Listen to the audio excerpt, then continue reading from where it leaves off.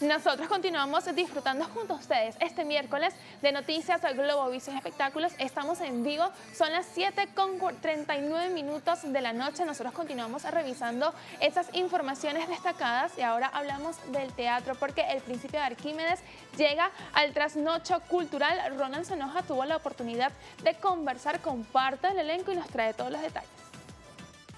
El público capitalino, el público venezolano en general va a poder disfrutar de una propuesta acá en el espacio de trasnocho cultural con una obra española, pero que llega por primera vez a Venezuela, El principio de Arquímedes. En este material ustedes van a poder conocer cada uno sus personajes.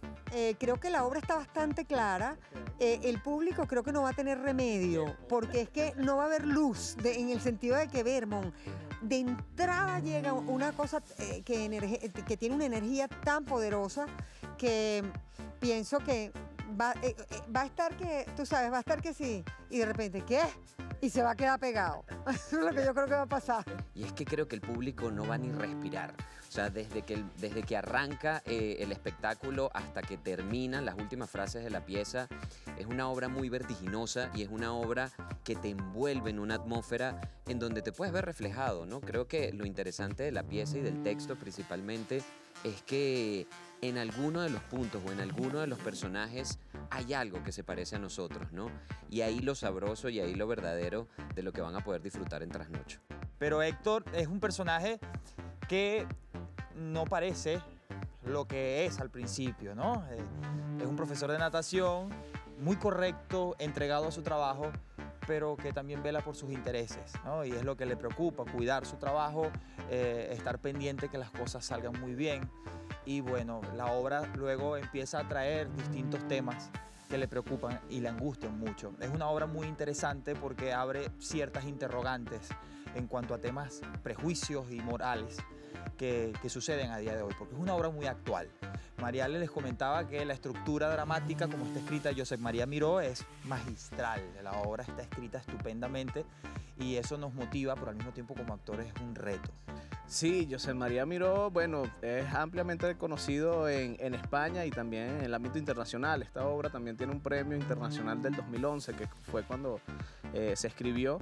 Y, y, bueno, ha sido un montaje que ha recorrido todos todos los países, pero sobre todo con un amplio eh, amplia eh, audiencia en cuanto al público, ¿no? Y estrenarla acá, hay muchas personas que están ansiosas también de ver este montaje, precisamente por eso, por, lo premiada que ha sido la obra. Tenemos a unos actores, está Henry Soto, está María Alejandra Martín, está eh, Egon Ilka, está también Luis Palmero, que dentro de todo los vemos siempre en el teatro, algunas veces no, son personas que han estado afuera, por el caso de Luis, son personas que no han hecho tanto teatro como quisieran, como el caso de María Alejandra en su momento, eh, y que hoy por hoy, bueno, pueden tenerlos aquí juntos en un escenario y poder presentar un trabajo de calidad. Viernes a las 8, sábado y domingo a las 7, Trasnocho Cultural, tiquemundo.com todas las entradas y aquí en la taquilla del, teatro. Vengan al teatro, disfruten. La cultura y la educación es lo único que nos va a sacar del hoyo donde a veces podemos estar metidos. Vengan y disfruten del teatro. Ya los vieron, ya los conocieron, ahora les queda a ustedes venir y llenar estas butacas para disfrutar del principio de Arquímedes que van a estar cinco fines de semana con todos ustedes. Disfruten muchísimo el teatro y a estos actorazos que tenemos acá en Venezuela. Esta es otra propuesta que les obsequia el equipo de noticias Globovisión Espectáculos. Gracias a nuestro compañero Ronald Sanoja por esa información. Y ahora Gaby, ¿estás preparada? Tienes tu lupita mágica. Ya va. Búscala, búscala, encuéntrala, porque ahora viene famosos en las redes.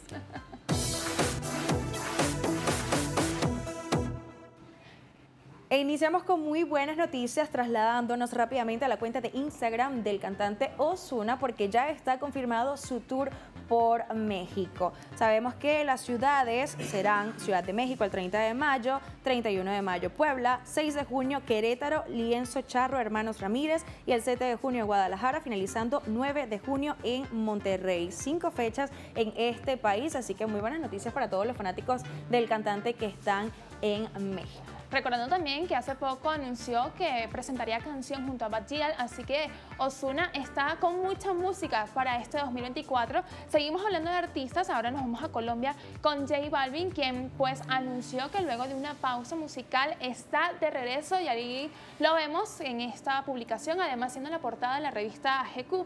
Hay que desconectarse para volverse a conectar. Ya es tiempo, me siento en alta y quiero hacerlo para la cultura. Es lo que escribe este artista colombiano. Además, muchos fanáticos y seguidores del cantante emitieron diversos comentarios en dicho post, comentando que pues están con expectativas bastante altas porque esto es como un guiño al regreso de música con J Balvin. Quien también tuvo la oportunidad de ser portada de una revista es el cantante Ricky Martin, pero en esta oportunidad se trata de la revista Interview.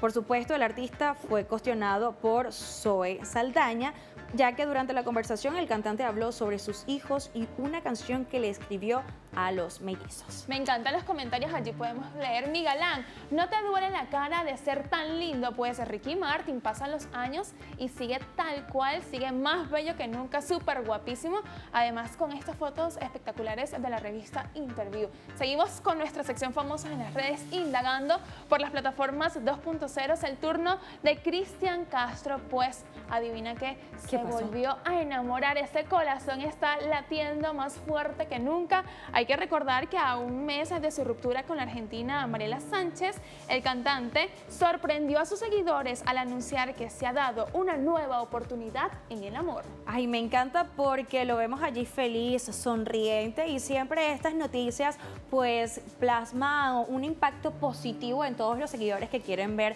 a Cristian Castro feliz, enamorado, contento, romántico. Así que yo estoy feliz por esta noticia, Gaby. Mira, claro, y además escribe indescriptible. Adiós, gracias por la presencia de mi dulce novia. Pues que vive el amor. Sí, ojalá que despierte su musa para que también nos regale nuevas canciones. Hay otra buena noticia que no podíamos pasar por debajo de la mesa en nuestra sección famosos en las redes y se trata de Georgina Palacios, pues luego de dos años logró reencontrarse con su padre acá en nuestro país. Ella comenta, después de dos añitos sin verte papi nos volvemos a encontrar. Hoy fue la primera vez de Nico conociendo al abuelito materno, Jorge Palacios, y Tomás de compartir con él, como si el tiempo nunca hubiese pasado. Momentos hermosos que quedarán siempre en el corazón de todos. Hashtag Welcome Back. Ahí está la esposa del señor Jorge Palacios, Pati Oliveros. Muero de amor.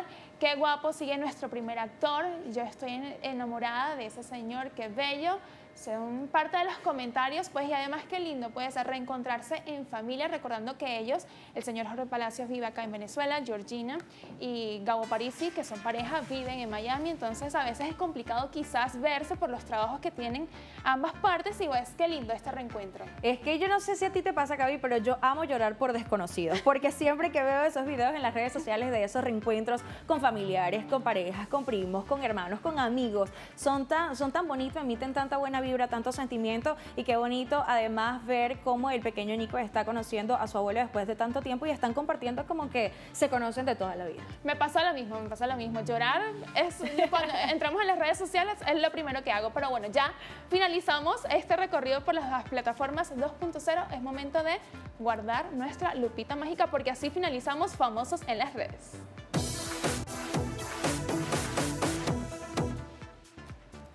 7.47 minutos, Venezuela, momento de marcar una nueva pausa, pero al regreso continuamos con más información y con un invitado que yo siento que a todos los fanáticos de Karol G les va a causar muy buena impresión. Así que ustedes continúen pegaditos a las pantallas.